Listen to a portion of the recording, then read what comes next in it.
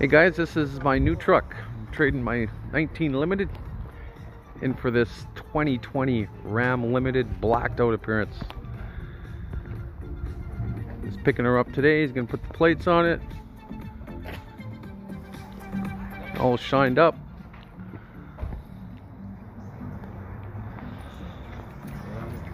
So excited. Wow, what a truck, man. Matthew, go open the door for a sec. Yeah, see if the lights come on here. Nope. Okay, let me go in the back here. So it's the same thing inside here. Got different seats here, kind of more comfier. It's my salesman, Abby. And a boy, Abby. Right on. I don't know if it's a man or girl. Sorry, I didn't know. No, I'm doing uh, my YouTube video. Oh, YouTube video. Awesome. I got a channel. That's good.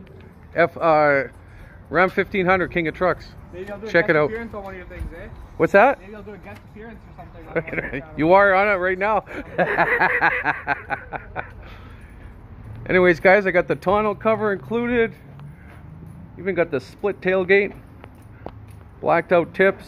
That, but I'm putting my cap back on here. They're going to exchange the uh, the one I have on the white truck, my Magna Flow, and can put the. Uh, what else are to do? They're going to put the um, LED tail light, the Putco blade, on here. Plates are Gucci. Yeah, right on.